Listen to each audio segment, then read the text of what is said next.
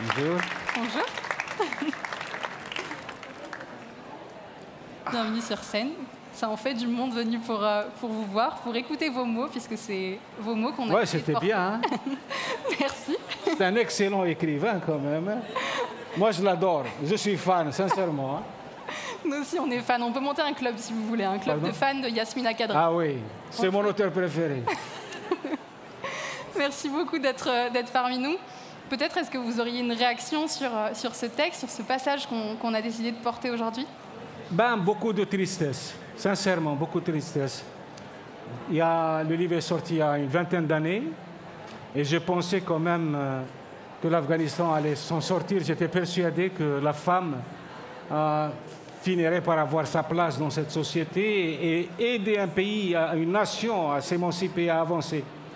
Mais quand j'ai vu le retour, d'ailleurs quelques mois avant, beaucoup de journalistes m'avaient euh, interrogé sur l'éventualité de ce retour. J'ai dit ils sont déjà en route et personne ne va les arrêter. C'était pour moi la plus grande tristesse. euh, Vraiment, ça m'a traversé comme quelque chose, comme, comme un sabre. Et j'ai vu tout mon travail, euh, tout le travail des gens de bonne volonté s'écrouler comme une relique pourrie. C'est terrible. Mais c'est comme ça, il faut savoir rebondir. Ouais. Même, euh, je ne suis pas de ceux qui croient que l'échec euh, est une sanction. Je crois que l'échec, c'est le commencement d'une autre, euh, d'une autre aventure. Tout à fait. Vous parlez beaucoup des femmes. Oui, j'adore que les votre femmes. homonyme, il, il laisse à penser que vous êtes une femme, ce qui n'est pas le cas, a priori. Eh ben oui, euh, écoutez, j'ai, j'ai vu en Algérie, par exemple, des femmes se battre. Je crois que la bravoure des femmes, la vaillance des femmes algériennes euh, est, presque cosmique. Elles n'ont rien, aucun soutien, aucun repère et tout, et pourtant elles existent par elles-mêmes. Et quand je vois la femme se battre, j'ai le sentiment que c'est toute l'humanité qui se bat, contrairement à l'homme. Quand je vois l'homme se battre, je vois des guerres, je vois des gâchis, je vois des catastrophes, je vois de la peine, de la douleur. Mais une femme, quand elle se bat, d'ailleurs j'ai écrit dans l'attentat, l'homme a créé la guerre et la femme a créé la résistance. Et c'est noble une résistance. Tout à fait. Et d'ailleurs, il y a une interview que, que j'ai lue de vous où vous dites euh, pas toujours des anges, pas toujours des démons, ou encore je ne me souviens pas d'avoir souhaité du mal à quelqu'un, encore moins lui faire du tort. Je suis constamment tournée vers ce qui pourrait m'émerveiller, bercer mon âme et m'aider à surmonter les frustrations et la bêtise humaine. Ben On oui. retrouve constamment ça, la lueur d'espoir dans vos textes. Ben oui, euh, c'est quoi la méchanceté finalement? Pourquoi les gens sont méchants? Parce qu'ils ne savent pas s'émerveiller. C'est tout. Ils sont à côté, ils sont les otages de leur propre frustration. Alors que normalement, un être humain qui est doté d'une intelligence se doit de se tourner vers ceux qui l'émerveillent. C'est la seule façon de, euh, de tenir tête à l'adversité. Je ne dis pas que je ne souffre pas, toute ma vie a été une souffrance. Mais si je tiens debout, c'est tout simplement parce que je n'ai jamais cédé à cette souffrance. Je n'ai jamais choisi d'être méchant ou de réagir méchamment. Euh, je préfère non pas pardonner parce que ça fait... euh, ça- le pardon, c'est un petit peu... euh, je n'y crois pas trop. Mais il faut avoir cette sagesse de ne pas s'attarder là où ça fait mal. Donc il faut avancer dans la vie. Et comment est-ce qu'on fait quand on est face à des choses qui nous dépassent autant, quand on est face à une guerre, qu'on perd sa famille, etc. Dans quoi est-ce que vous retrouvez cet espoir? Est-ce que l'écriture, pour vous, c'est un moyen, euh, l'art, la poésie? Écoutez, j'ai toujours dit, euh, euh, d'ailleurs je le disais à peine euh, il y a une dizaine de minutes, si on veut vraiment distancer le, malheur, il faut entrer dans un livre et tirer la couverture sur soi. Voilà, il faut s'enfermer dans un livre. On se reconstruit dans un livre. On, s'évade, on, se découvre. On, on croit aller vers un personnage, mais finalement, derrière ce personnage, il y a nous, comment on réagit à un livre. Un livre, c'est quelque chose d'immuable. Un livre, un ouvrage, c'est quelque chose d'immuable. Mais la réaction nous trahit. La réaction par rapport à ce- cet ouvrage nous trahit, nous situe quelque part. Soit nous sommes des gens qui sont capables d'aller vers le talent, le génie d'un écrivain, soit on, est, cherche la, coquille, la faute de frappe, et ça, ça nous trahit. Et là, on comprend tout de suite dans quelle balance, dans quelle balance on, on se situe, de quel côté de la balance on se situe. Moi, je cherche toujours ce qui fait la force d'un écrivain, ce qui fait la beauté d'un peintre, ce qui fait la, la- je ne sais pas, le, génie d'un musicien. Et, et c'est comme ça que je m'enrichis. Et vous cherchez aussi ce qui fait l'humain aussi, parce que Ah vous oui, réhumanisez absolument, en permanence absolument. les personnages que vous décrivez. Écoutez, je ne sais pas, mais on- on s'aperçoit ces derniers temps que les animaux, ils ont des réactions presque humaines. Ils sont, compatissants. Quelquefois, on voit, un, je sais pas, un chien avec, des poussins en train de, les, couver.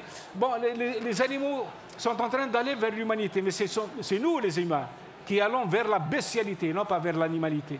Parce que quand on voit, par exemple, un malheur quelque part, et qu'on n'a pas cette réaction tout à fait, qui fait de nous des êtres humains, eh ben, on a perdu l'essentiel de ce que nous sommes.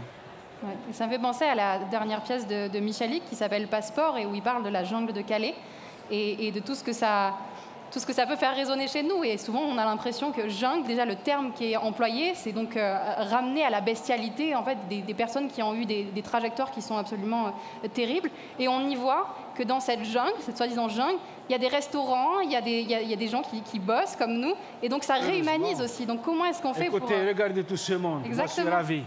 Quand je vois tout ce monde, euh, graviter autour d'un idéal. Regardez, c'est magique. Moi, je ne m'attendais pas à un tel accueil, euh, à euh, une telle affluence.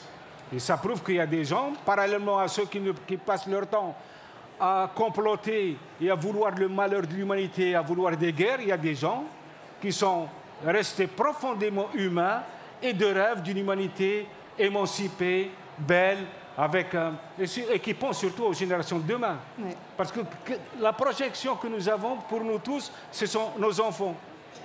Ce sont nos enfants qui, qui- qui- se doivent d'être notre principale projection. Des gens qui sont dans la méchanceté, dans, le, dans la, la- la corruption de- des âmes et des esprits, ce sont des gens qui sont à côté de leur vie. Ils ne vivent même pas pour leurs enfants. Et moi, j'ai une une question peut-être à, à- à vous poser. C'est vous, vous mentionnez beaucoup que finalement l'intime est politique, j'ai l'impression, parce qu'on retrouve en permanence des scènes comme ça où vous nous emmenez euh, dans, dans la maison, vous nous emmenez euh, dans la vie euh, réelle et concrète des gens. Est-ce qu'il y a quelque chose qui, qui vous attache à ça, à montrer qu'il n'y a pas uniquement euh, le dehors? Oh, je suis un homme du Sahara. Je suis né dans le désert. Et le désert, c'est un monde intérieur. La nudité nous apprend à être humble et être euh, peut-être reconnaissant à, tout- à chaque jour qui vient. Chaque jour est un miracle. Chaque matin, c'est une, c'est une aurore boréale qui se lève. C'est à nous de l'apprécier. Il y a des gens qui passent à côté de leur vie simplement parce qu'ils ils, ils- ils ont euh, des projets beaucoup plus grands, beaucoup plus importants que leur propre, euh, leur propre petit bonheur. Moi, je trouve que la, la meilleure façon de vivre sa vie, d'ailleurs, je l'ai toujours dit, pour vivre pleinement sa vie, faut savoir aimer de chaque religion un saint et de chaque folklore un chant. Et je, je butine dans tout. Moi, je suis un- une abeille. Je butine dans tous les jardins du monde pour faire mon miel. Et c'est pour ça que mon miel est le plus dé- délicieux des miels. J'aime beaucoup cette phrase. Merci. Merci, merci. C'est marrant parce que quand on vous voit, vous êtes une personne qui, qui déborde de joie, d'espérance, d'espoir. Ah et en bah. même temps, beaucoup de vos bouquins parlent de guerre et de choses qui sont absolument sombres. Oui, mais je préfère rencontrer la violence dans un livre que dans la rue. Quand elle est dans un livre, on peut la situer, on peut y accéder, la comprendre et même peut-être trouver les meilleurs, euh, des moyens de, euh, de la tempérer ou de même de, la neutraliser. Mais quand elle est dans la rue, elle nous dépasse. Quand elle, éclate dans la rue, c'est la panique, on n'a plus de repères, on est complètement égaré. Alors que dans un livre, on devient philosophe, on devient expert, on devient conseiller, on devient même prophète quelquefois. Et c'est comme ça qu'il faut. Le livre, c'est, peut-être la plateforme la plus digne de nous. Vous savez, quand on lit, finalement, c'est quoi lire? C'est avoir du respect pour soi c'est prendre, se prendre par la main et, s'emmener là où rien ne chahute votre quiétude. Voilà, c'est dire, c'est avoir du respect, de la considération pour soi, de la considération pour notre intelligence et aussi essayer de forcer cette chose qui est en nous qui s'appelle notre empathie. Quand on ne lit pas, on, on ne vit sa vie qu'à moitié. Et pourtant, aujourd'hui, la lecture et de plus en plus de personnes qui en sont privées. On voit un peu dans, dans- dans ces pays, justement, où les femmes sont euh, de plus en plus euh, sous le coup de, pression, on les empêche d'aller à l'école. Euh, en France, il y a encore beaucoup de personnes qui n'ont pas accès euh, justement à la lecture, ou en tout cas, on a fait du livre un objet qui est presque ben, le synonyme de la bourgeoisie. Vient de là. Le malheur du monde vient de là. J'ai écrit dans Les Hirondelles de Kaboul, le malheur déploie sa patrie là où la femme est bafouée. Si on avait de la considération pour la femme, je crois qu'on on éviterait pas mal de choses, sincèrement. Quand on est amoureux, on n'a pas envie de mourir. Quand on a le rêve, quand la femme incarne tous les rêves du monde, on n'a pas envie d'aller guerroyer. On a envie de profiter de chaque instant, de vivre pleinement chaque moment. Voilà, mais les hommes, euh, quelquefois, ils, sont, ils peuvent passer à côté de, leur vie et, ils se perdent de vue. Ils se perdent en s'éloignant d'eux-mêmes, ils se perdent de vue. Et après, on ne peut plus les retrouver ils s'éloignent d'eux-mêmes, mais parfois on, les y contraint aussi à s'éloigner d'eux-mêmes. Je vois toutes les, fake news qui circulent dans les médias, des idées reçues ah, aussi, ben, contre lesquelles vous luttez. C'est ce que je disais, il faut, il faut éviter les réseaux sociaux, il faut éviter la presse pour euh, récupérer, recouvrer, il faut recouvrer son libre arbitre. Il faut, on n'a pas le droit de juger quoi que ce soit, mais on, on a le droit de comprendre. C'est un devoir même de comprendre. Mais il faut, il faut que votre esprit soit très ouvert. Il faut être très proche d'une sorte de tolérance et s'accorder un répit. Parce que quand on est dans les réseaux sociaux et quand on est dans les médias, on n'a aucun répit. On est bombardé de fake news, on est bombardé de, de, chagrin, de malheur, de souffrance. Et un livre, moi, il nous éveille à nous-mêmes, un livre. Il faut oublier tout ce monde-là et se récupérer dans un livre. C'est très important, la lecture. Et donc, il me semble que vous avez sorti un, nouveau livre. Est-ce que vous pourriez nous en parler un peu? Qu'est-ce qu'il nous raconte, ce livre? Non, je n'ai pas sorti. Euh, il y a uniquement, il est sorti en poste, c'est Les Vertueux. Vous n'avez pas lu Les Vertueux? Non, je vais m'acheter tout de suite une corde et me pendre. Parce que vous ne savez pas ce que vous ratez. Voilà. Non, mais euh, les vertus, ça, ça, vraiment, euh, ça mérite le détour. Hein. C'est vrai qu'il n'aura jamais le succès de, de, ce que le jour doit à la nuit, ou des hirondelles de Kaboul, ou de l'attentat, mais pour moi, c'est le summum de ce que je pouvais faire. Pourquoi? Est-ce que vous pourriez nous en dire quelques mots, nous, nous teaser un peu? Non, non, non, c'est à vous de, de, le découvrir. Et justement, je vais poser une question. C'est moi qui l'ai écrit, ayez confiance. Très bonne campagne marketing, ça je, valide. Justement, est-ce que vous pensez que tout le monde peut être vertueux? Ah, C'est un combat. Il faut croire en soi avant de croire aux autres. Il faut d'abord croire en soi. Euh, pour moi, la vocation véritable d'un être humain, c'est d'être utile aux autres. Et pour être utile aux autres, il faut d'abord être sûr qu'on est capable d'être utile aux autres. Donc voilà, il faut croire en soi et après construire euh, un socle capable de, euh, porter tous nos rêves, toutes nos espérances et tout. C'est pas facile. Euh, on vit dans une, société, ingrate. Vous avez beau être, euh, comment dirais-je, humain, vous pouvez être l'incarnation même de la générosité, il y a toujours des ingratitudes quelque part. Et ça peut briser tous les élans fraternels, tous les élans généreux. Et c'est là le danger. C'est là où, lorsqu'on croit en soi, on devient inexpugnable, on devient euh, invincible dans nos convictions. Je sais que jamais nos convictions n'atteindront la vérité, mais ça va quand même être ces certitudes qui nous vont nous accompagner jusqu'aux autres, qui peuvent nous aider à, à croire que nous sommes capables d'être utiles. Alors moi j'ai une question, on va l'aborder dans une conférence que j'anime euh, dans quelques jours on va parler des, leaders poétiques. Est-ce que c'est un truc qui, vous, vous inspire? Je n'aime pas. Non? le leader, tout ça, c'est du mensonge.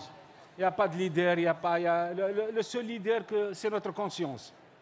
On, butine, on apprend un peu partout, on, s'instruit, et puis on fait sa propre euh, philosophie, et puis c'est cette philosophie qui va essayer de nous conduire vers ce que nous estimons être bon pour nous et pour les autres. Parce que justement, on a eu trop de leaders, peut-être. Oui, mais écoutez, il faut, il faut se débarrasser des présidents, il faut des, gouvernants. Il faut vraiment il faut vivre libre.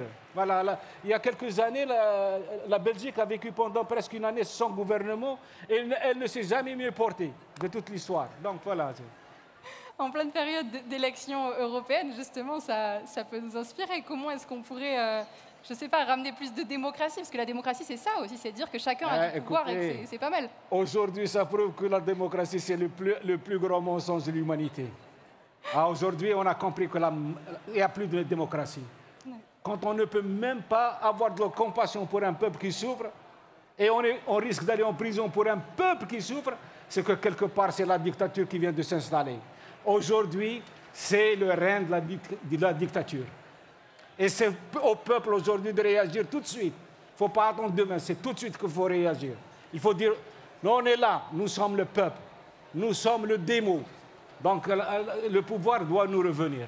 Et c'est malheureusement, il y a ce silence qui nous rend coupables et complices de tout ce qui nous, il y a à peine quelques, décennies, euh, nous horrifiait. Il y a un, mot maintenant, une étiquette qu'on aime bien nous mettre aujourd'hui, c'est l'étiquette d'engagé ou militant. Qu'est-ce que vous en pensez, de, tous ces gens qui essayent de dire vous êtes un auteur militant, un auteur engagé? C'est bien, c'est bien de s'engager, c'est bien de militer, c'est très bien. Voilà.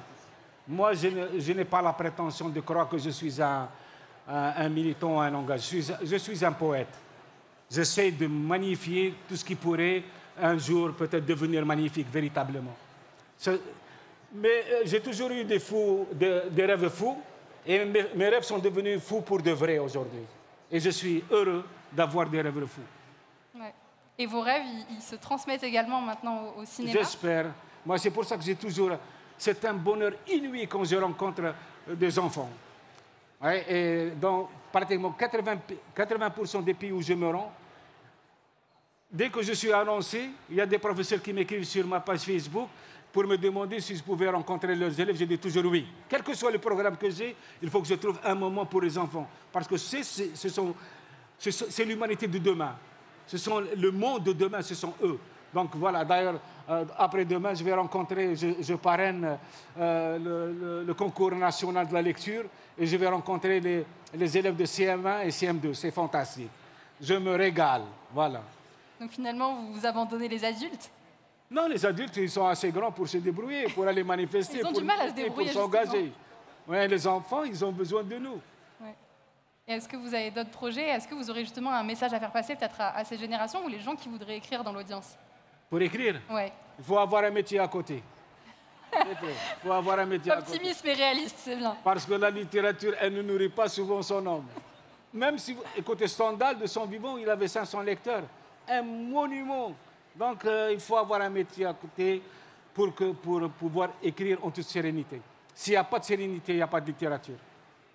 Peut-être une des dernières questions que, que je voudrais vous poser, c'est en termes de transmission aujourd'hui.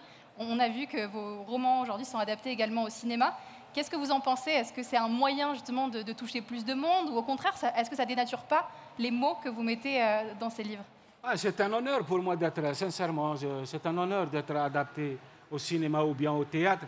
Mais il y a aussi la part de l'artiste, du réalisateur. Lui-même, c'est un artiste. Il a sa propre façon de voir les choses. C'est une adaptation. Donc, ils vont prendre une œuvre et l'adapter au prisme du dramaturge ou bien du réalisateur. C'est vrai que c'est toujours bon. Il y a des gens qui ne lisent pas. Peut-être qu'à travers un film, ils peuvent aller vers le livre. Peut-être, je ne sais pas. Mais le cinéma, c'est magique. Le théâtre, c'est magique. La musique, c'est magique. C'est ça. Pour moi, les prophètes de la vie, ce sont les musiciens, les humoristes, les écrivains, les dramaturges, les comédiens. Ce sont ces gens-là qui sont nos vrais prophètes. Parce qu'ils mettent un peu de lumière dans la banalité de nos jours. Et puisque vous parlez de ces personnes qui sont inspirantes, est-ce qu'il y a des personnes qui vous, vous ont inspiré au moment d'écrire? Oh, il y en a beaucoup. Euh, moi, quand j'étais jeune, c'était Gogol. Gogol, je croyais même que j'étais la réincarnation de Gogol. Oui, je vous assure, j'étais absolument persuadé que j'étais sa réaction. Quand j'ai lu sa, sa, vie, j'ai trouvé que c'était la même chose. On était enfermés dans une école, on faisait les guignols, on était, pas, on était moches, on était vraiment. Et voilà, on avait cette générosité. Et puis il y a John Steinbeck aussi, il y a euh, Gorky. J'adore la littérature russe, moi. Je suis un grand fan de la littérature russe. Et puis, je butine dans toutes les littératures, voilà. Et si vous aviez un rêve pour le monde, ce serait quoi? Que nos enfants. Euh, n'entendent plus parler de guerre. Parce que la guerre, c'est la faillite du bon sens. Elle n'apporte rien. Il y a des gens qui croient que, surtout les guerres d'aujourd'hui, on ne peut même pas se permettre d'être un héros. puisqu'il n'y a pas eu confrontation. Rien ne fait d'un guerrier d'aujourd'hui un héros, et rien ne le fera. On peut faire la guerre à partir du Nevada, on est dans une cabine et on, lance un, drone à 6000 ou 7000 km, c'est plus de la guerre. Donc il faut arrêter cette supercherie, tout simplement. Chacun a le droit de vivre. Et j'ai écrit dans Khalil, le devoir, le vrai devoir, c'est de vivre et de laisser vivre. Si on ne laisse pas les gens vivre, on ne vit pas non plus. Merci beaucoup. Est-ce que vous auriez un mot de conclusion peut-être pour, notre audience? Quelque chose à leur dire, un message à leur transmettre? Et est-ce qu'ils ah, peuvent venir vous voir après la conférence? Parce que j'imagine qu'il y a plein de questions. Moi, j'ai eu la chance de vous poser les miennes, mais je, vois des regards qui, demandent à vous parler. Oui, euh, il n'y a pas de message. Il n'y a pas de message. Il n'y a pas de message. Les messages, ils sont déjà tous dans les livres Il faut s'émerveiller. Il faut réapprendre à vivre et à aimer. C'est tout. Euh, je vous assure qu'il n'y a pas plus simple qu'une vie heureuse. Il n'y a pas plus simple qu'une vie heureuse. Mais c'est un choix. Soit on va vers la tourmente, on s'apitoie sur son sort, soit on va à la conquête de toutes les joies du monde, et c'est possible de les conquérir. C'était Yasmina Kadra, je vous remercie en tout cas. Merci à nouveau d'être venu partager tout ça avec nous. Merci. Et puis on, recommande d'aller euh, lire vos bouquins parce qu'en effet c'est plein de Ah, il le faut, c'est impératif.